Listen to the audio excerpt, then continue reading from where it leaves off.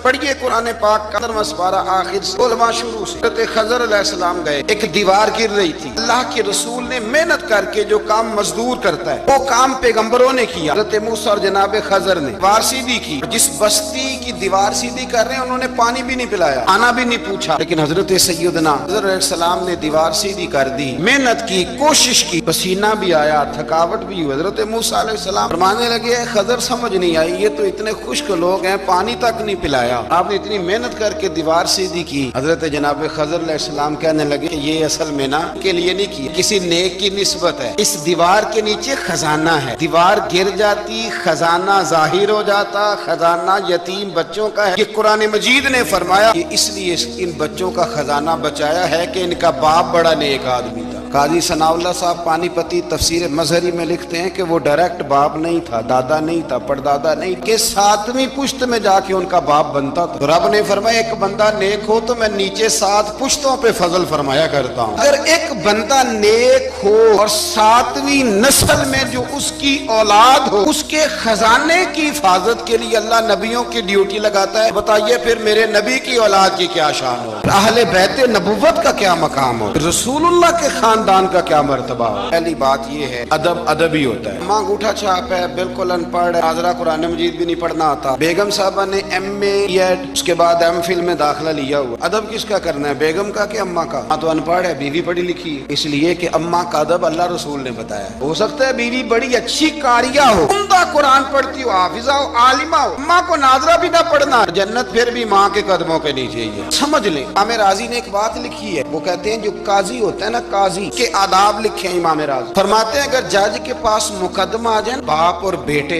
आपस में झगड़ा है। तो पता चल जाए कि बाप सच्चा है, बेटा झूठा है तो सौ दफ़ा कह बाप सच्चा है, बेटा झूठा है, बाप सच्चा है, बेटा झूठा है, बाप सच्चा है, बेटा झूठा है। लेकिन अगर उसे पता चल जाए ना कि बेटा सच्चा है, और अब्बा गलती पे है, अब ये तो सौ दफ़ा कहे कि बेटा ठीक कहता है, बेटा सच्चा है, बेटा सच्चा है, पर एक दफ़ा भी ये ना कहे कि अब्बा झूठा है। हालाँकि मतलब यही है, बेटा सच्चा है तो फिर खुद ब खुद समझ आती है कि अब्बा जी गलती पे। अदब का तकादा यह है कि जज भी ये ना कहे कि बाप झूठा है अगर अगरचे वो गलती पर है। इसलिए कि अदब वाले का जो मकाम अदब है, वहाँ अदब किया जाए। इमाम आज़म अबू हनीफा रहमतुल्लाह एक जंगल में एक बाग में बैठे थे। शागिर्द साथ थे, इमाम अबू यूसुफ थे और भी आपके शागिर्द थे तो कुछ लिख रहे थे। तमा जब किताबें लिखते हैं तो बीस बीस किताबें उन्होंने खोल के निशानियाँ रख के दाएँ बाएँ रखी होती मुख्तलिफ़ किस्म के नोट्स होते हैं, बड़ा कुछ बिखरा हुआ था, शागिर्द थे। बाग के एक कोने में बच्चे खेल रहे थे, जो में से एक बच्चे की गेंद आ गई बाग में। बच्चा गेंद लेने आया तो इमाम साहब उठ के खड़े हो गए। अगर शागर सारे बिखर गए। बच्चा गेंद लेके चला गया। गिरद चोप रहे। चलो दोबारा से किताबें समेटी, ढूंढा सारा कुछ। फिर से काम शुरू हुआ। चंद मिनट गुजरे तो बच्चा फिर आ गया गेंद लेने। इमाम साहब फिर उठे। फिर सारा कुछ बिखर गया। गिरदों ने बर्दाश्त किया। सारे शागिर्दों में बर्दाश्त भी नहीं होती। तीसरी दफ़ा, चौथी दफ़ा, पाँच दफ़ा हो गई तो बस शागिर्दों की तो खबर था। हौसला वो जवाब दे गया। बच्चा पता नहीं कितनी दफ़ा आएगा। जब वो बच्चा फिर आया, इमाम साहब बूढ़े आदमी थे। घुटनों में दर्द भी थी। बड़ी मुश्किल से उठते। चीज़ें सारी बिखर जाती। बच्चा जब सातवीं दफ़ा तो इमाम साहब फिर उठे तकलीफ़ से उठे। इमाम अबू यूसुफ अर्ज़ करने लगे और ये बच्चा है, इसकी तो ड्यूटी लगी हुई है गेंद लाने की तो सौ दफ़ा आएगा। इमाम साहब फरमाने लगे, ये सौ दफ़ा आया तो मैं सौ दफ़ा उठू उठूं तो हुजूर, क्यों उठेंगे? फरमाया, ये मेरे उस्ताद का पोता असला नाल जे नेकी करिए ते नस्ला ताक नहीं भुल दे।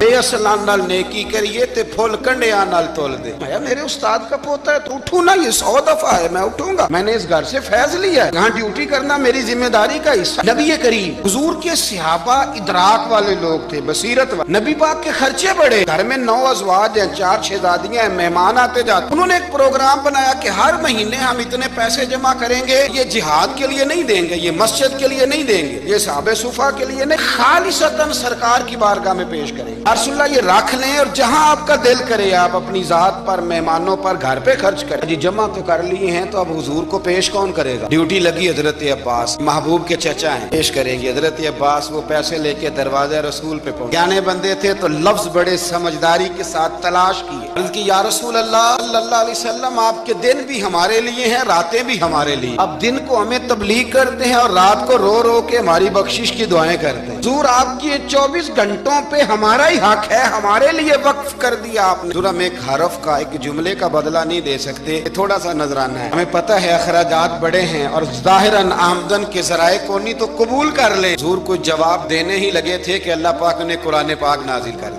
महबूब इनसे फरमा दो कि इस तबलीगे दीन पर ताइफ में पत्थर खाने से लेकर ओहद में दांत शहीद कराने तक मैं तुमसे किसी अजर का सवाल नहीं करता। अगर कुछ करना है तो मेरे अहले बैत से प्यार करते रहे रसुल्ला ये कौन है? फरमाया मौला अली। यदा फातिमा। इनकी औलाद हसन से प्यार करना, हुसैन से प्यार कर मेरे रसूल पाक ने फरमाया, फातिमा तो बिदा तो मिन्नी। लोगो, फातिमा को मेरे वजूद से अलग ना समझना, ये मेरे जिगर का टुकड़ा है। रसूल फरमाने लगे, जिसने फातिमा को राज़ी किया, उसने मोहम्मद अरबी को राज़ी कर लिया। और फरमाया, जिसने मुझे राज़ी किया, उसने अल्लाह को राज़ी कर लिया। हजूर फरमाने लगे, अली को तो देखते रहोगे तो रब की इबादत का सवाब मिलता रहे। कुछ लोग परेशान थे कि हजूर सारे तो नहीं ना देख सकेंगे मौला अली को। हजूर ने उसका भी जवाब दिया, फरमाया, ज़िक्र अली इबादत बस अली अली कहता रहे, तुझे रब की इबादत का सवाब मिलता रहे। अली का ज़िक्र भी इबादत, इस खानदान के साथ प्यार करना। ये रसूल करीम सलाम ने फरमाया जिसने अब्दुल मुतलब की औलाद के साथ नेकी की। बात ही खत्म कर दी। अब्दुल मुतलब की औलाद में हज़रत अब्बास का खानदान भी शामिल। अब्दुल मुतलब की औलाद औलाद में हज़रत जाफ़र तैयार का खानदान भी शामिल। हज़रत सैदना मीर हमजा के बच्चे भी शामिल। हजूर फरमाने लगे, जिसने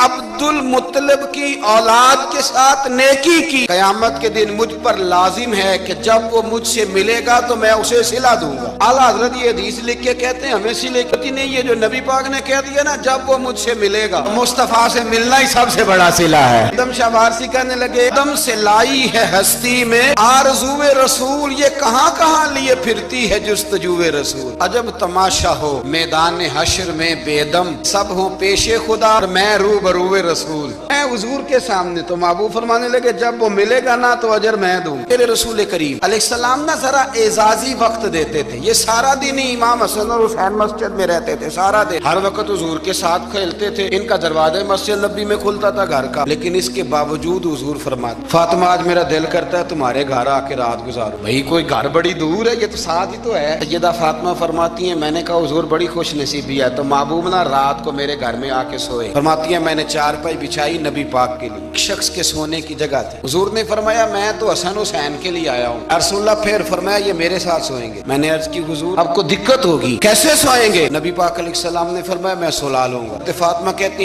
एक कंधे पे हजूर ने इमाम हसन को लिटा लिया और दूसरी साइड पे इमाम हुसैन को लिटा लिया। कहती है इमाम हुसैन की आदत थी, वो रात को दूध मांगते थे। मैंने बर्तन में रखा होता था, मैं डाल के देती थी। बच्चे मांगते हैं ना रात को दूध? फरमाती है, रात को ना इमाम हुसैन ने दूध मांगा। मैं उठने लगी दूध देने के लिए। ने फरमाया बेटे तू लेट जा, आज मेरे साथ सोया तो दूध भी मैं ही पिलाऊँगा। कहती कई दफ़ा दूध मांगा तो कई दफ़ा मेरे रसूल पाक ने उन्हें दूध पिलाया। और ये हर नाना नवासों से प्यार करता है, पर ये खाली नाना नहीं ना, इमामुल अंबिया भी। सरवरे कौन मकाम? इनका हर काम अल्लाह के हुक्म से है। अल्लाह के हुक्म हज़रत सैदना उमर रदी अल्लाह तआला फरमाते हैं कि नबी पाक ने पैगाम भेजा, सैयदा फातिमा को फरमाया, हसन को भेजो, मेरा मिलने को दिल कर रहा तो कहती है, वो घर में ना, देर हो गई इमाम हसन को आने में। आला हज़रत फरमाते हैं, मुझे लगता है कि बीबी साहबा गुसल कराने लग गई, कपड़े तब्दील करा रही थी। जरा देर हो गई तो नबी पाक बेचैन हो गए, मैं हसन, आ क्यों नहीं रहा? आ क्यों नहीं रहा? मेरा मिलने को दिल है। थोड़ी देर गुजरी तो इमाम हसन ने दरवाज़ा खोला सैयदा पाक का। जब दरवाज़ा खोला तो रसूल करीम ने दोनों बाजू यूँ खोल दी। नबी पाक घुटनों के बल ज़मीन पर बैठ गए। इमाम हसन भी जब अंदर से निकले तो उन्होंने भी यूँ बाजू खोले। कहते हैं, रसूल करीम के जब गले से आके लगे तो अब्दुल्ला इब्ने उमर कहते हैं, मैंने हुजूर की आँखों में आँसू देखे। और महबूब उनका माथा चूम के कहने लगे, ए अल्लाह, मैं इन दोनों से मोहब्बत करता हूँ। तू भी इनसे मोहब्बत फरमा। अल्लाह, जो मेरे हसन हुसैन से मोहब्बत करे, उस बंदे से भी मोहब्बत फरमा। हमारे बुज़ुर्गों को ना अहले बैत से बड़ा प्यार होता था। असहाब के भी गुलाम और अहले बैत के भी पीड़ा नु मैं सीने लावा ते मैं हंस दी जावा ओ पीड़ा नु मैं सीने लावा ते मैं हंस दी जावा ਧੁੱਪਾਂ ਦੇ ਨਾਲ ਲੜ ਲੜ ਕੇ ਮੈਂ ਲੱਭੀਆਂ ਆਪਣੀਆਂ ਛਾਵਾਂ ਦੁੱਖ ਵੀ ਆਪਣੇ, ਸੁੱਖ ਵੀ ਆਪਣੇ, ਮੈਂ ਤੇ ਬਸ ਜਾਣਾ। ਸਭ ਨੂੰ ਸਮਝ ਕੇ ਕੀ ਕਰਨਾ ਹੈ? ਦਿਲ ਨੂੰ ਇਹ ਸਮਝਾਵਾਂ।